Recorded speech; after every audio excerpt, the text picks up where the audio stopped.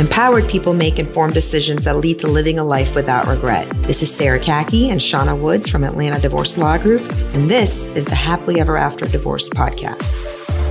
Welcome to the Happily Ever After Divorce Podcast. This is attorney Sarah Khaki with Atlanta Divorce Law Group, and I'm joined by Shauna Woods.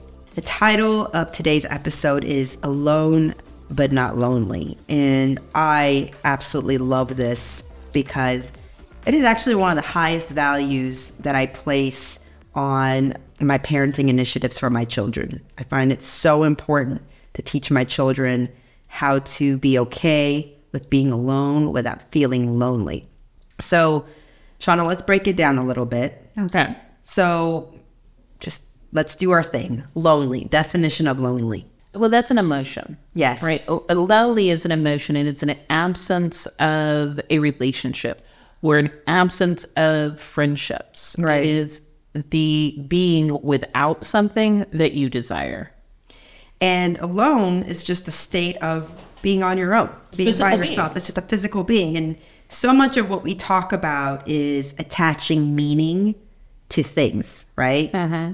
And for instance, if something bad happens, like let's say you don't get the job you wanted, right? And you're like, oh my God, I am destitute. I am going to go broke. Well, no, that's just the meaning you attach to not getting the job you wanted. And I believe that lonely is just a meaning you can attach to being alone, but it doesn't have to be the truth. You can be alone and actually not feel lonely. To you, what does that look like when you talk about being alone but not feeling lonely? You know, and for me, it's it can be in many different ways. I, in particular, very much enjoy being alone. I get energy from shutting down, being alone, kind of wiping my world clean, and just sitting there in my with my own thoughts. So I get energy from it. There are actually times when I can be lonely in a group of people. 100%. And it's about what are you connecting to, right? When I'm alone, right, for the most part, I am connecting to a part of me that no one else gets to see, Right. right?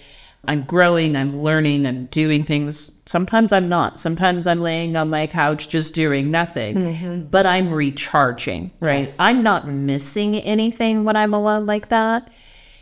And I think that's a difference between personality types. Right. I've jokingly said this before that I am the most introverted extrovert you're ever going to meet.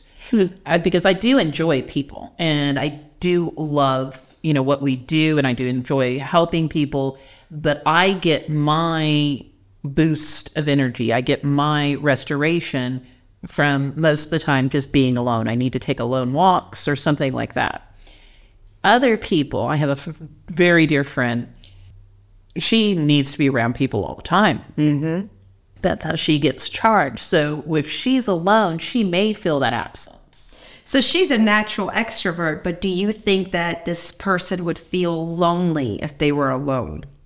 Or is it just a matter of how much time they would be left alone? I think it's probably about how much time they would they would be left alone. Um, constantly, people who need that kind of interaction constantly seek it out. They know what they need, and if there's not a lot of people around, or if they can't make that connection, then I do think they feel the loneliness Right. part of it a lot more. And I do think, however, my definition of a true lonely person is that they want a connection with one particular person mm-hmm. and they can't have it. And that's what makes them lonely, right? That's what makes them desire something that's not there. You know, I moved here to the United States when I was 13 and didn't speak the language very well. So I have definitely been through times in my life where I was alone, not by choice. Mm-hmm. And that can feel lonely mm-hmm. when you're alone, not by choice. And there's many times in my life that I choose to be alone because, like you, I recharge a lot when I'm alone. And I love being by myself. I have love to like give some space for my thoughts and my ideas and my visions and my time with my faith just to breathe, right? Mm-hmm. And I find that in that alone time. But I think that when it's by choice, that's where the difference is when you're feeling like, okay, I, I, I'm, I'm enjoying this, I'm recharging from this. But if you are left alone and and you're bidding out for connection and it's not being received, that's when loneliness steps in, right? And that becomes difficult. And the reason I find this to be such a valuable sort of concept for my children to grab, hold on to, mm-hmm. with being okay with being alone and not feeling lonely when they're alone, mm-hmm. is that exact thing you said. If you are mixed with people that either don't serve you or they're not the right mixture of people for you to grow with or for you to help grow or they're not the ones that you can truly connect with nothing can feel more lonely being in a group of people that you're not supposed to be with. That's a that's a. So for growing children i think that that's something i really want them to have is don't just fill empty space just to fill it. Be intentional about it, be purposeful about it. At the end of the day, you are better off being on your own and giving some time and space of discovering yourself until you're just quickly attaching yourself to other people and adapting to make those relationships or those friendships that aren't healthy for you work in order to avoid feeling lonely. I mean, and that, and I think the other part of it is there's a huge piece of positive self esteem with being comfortable with being alone. I find that a lot of people who run away from ever being in, in a situation where they're alone, there is a bit of a self esteem issue. There's a bit of a being uncomfortable with oneself issue. Whereas you see people who are able to have lunch on their own, travel on their own, which both you and I are comfortable doing all these things a lot, a lot, um, and we're you know just having a whole weekend just to themselves, all on their own, not trying to constantly reach out to anybody to fill it with. There's a higher level of comfort with oneself and sitting with oneself and all of our flaws and goods and bads. And then the result of it is a higher level of authenticity, which then gives you the ultimate connection. Because at the end of the day, humans, we are here to serve whatever purpose it is we're here to serve, or where, whatever spiritual purpose we have here that's brought us here.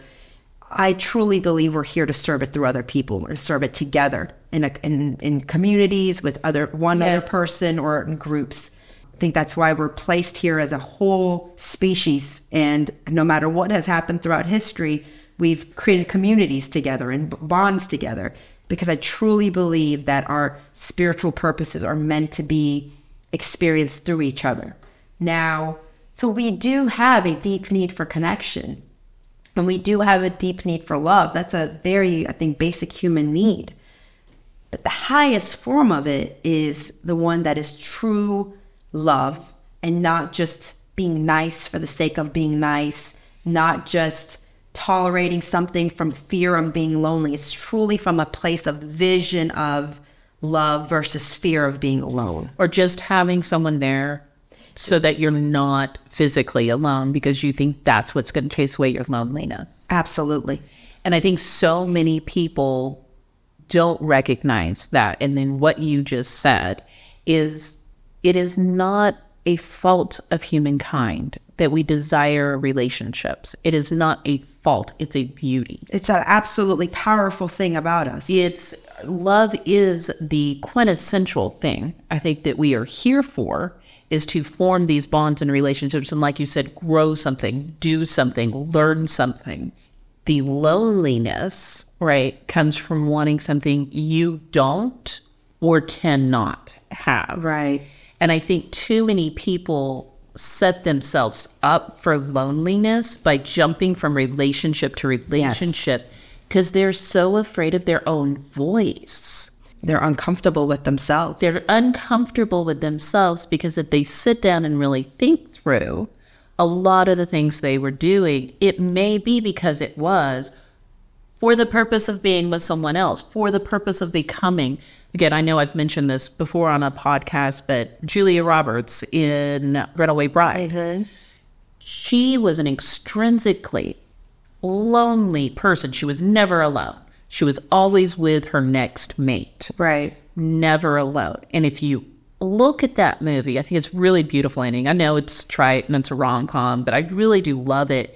The end of the movie, when she finally does meet the person that she's supposed to be with and they get married, they do it up on a mountaintop alone, away from everybody, so that they could figure out, you know, it was the two of them. Right.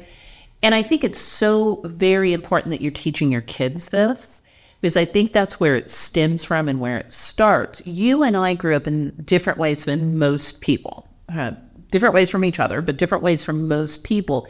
And our aloneness taught us self reliance. It taught us, you know, how to get from this place that we don't want to be to that place that we really do want to be. Right. Right. And even as a child, I felt lonely in a lot of senses because I didn't believe everything everybody else was believing. Right. So that made me feel extremely lonely. Which you weren't, but you weren't actually alone. I was not but alone. feeling very lonely. But feeling very lonely. And now that I look back on it, and Sarah and I always joke this is a therapy session for one of us. But now that I look back on it, my running away to the library and my going, I had a closet where I would go read all my books. Yes. That was my way of shutting out the loneliness. Right. I wasn't lonely when I was alone. I was alone when I was with them and we didn't get each other. And I think that is the crux of a lot of relationships. You know, Alison Armstrong says that you will never have a relationship that is better than the one you have with yourself, I love that. right?